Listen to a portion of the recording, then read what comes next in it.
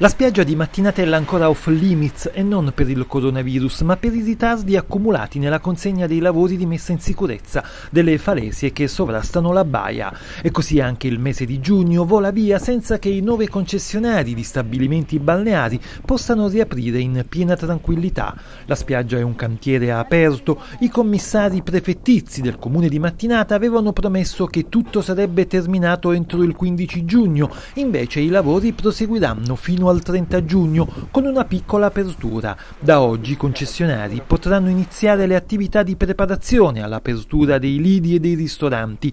Antonia Ciuffreda è una delle titolari di stabilimenti balneari di Mattinatella e ci dice che è praticamente impossibile procedere con il cantiere aperto, ma non abbiamo alternative se vogliamo salvare quel che resta di una stagione alquanto difficile con danni economici di non poco conto. Purtroppo, ancora una volta volta siamo stati presi in giro. Intanto la spiaggia si presenta come un luogo degradato con cumuli di terreno, rami di alberi e altri rifiuti, oltre al via vai di camion e mezzi meccanici.